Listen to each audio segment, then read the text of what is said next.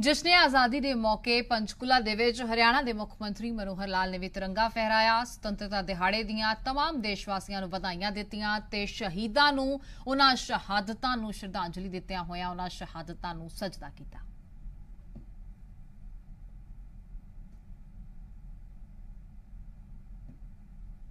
ਸੋ ਇੱਕ ਪਾਸੇ ਜਿੱਥੇ ਸ਼ਹੀਦਾਂ ਨੂੰ ਸਜਦਾ ਕੀਤਾ ਗਿਆ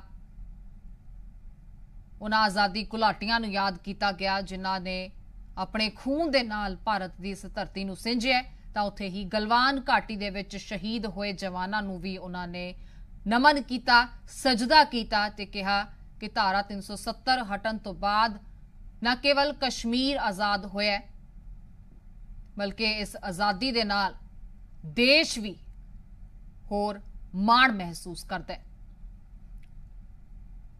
इस ज़िले की स्थापना भी आज के दिन 15 अगस्त उन्नीस में जो हरियाणा के सत्रह ज़िले के रूप में निर्माण हुआ था, मैं आपको भी ज़िले के स्थापना दिवस की भी बधाई देता हूँ। आपने अपनी मेहनत और सूझबूझ को, पंचकुला को विकसित किया है, सुंदर और सुदृढ़ बनाया है। कोरोना ने हमारे मुँह मास्क लगा दिया। हमारे हाथों को नहीं बांधा है।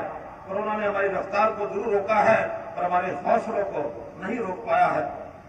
इस हौसले को बनाए रखने और इस महामारी को निपटने में अपनी जान की परवाह न करते हुए अनेक कोरोना वॉरियर्स ने मानवता की महान सेवा की है।